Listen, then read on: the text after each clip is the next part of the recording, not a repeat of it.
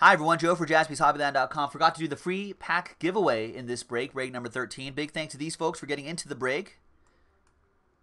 So I'm just taking the original 15 names. I'm going to randomize it three and a two, five times for these five packs. So the top five names will get one of these packs, and there could be autographs inside. Could be a nice little bonus for you. So three and a two, five times, five names on top. One, two, three, and a 2. 4 and 5.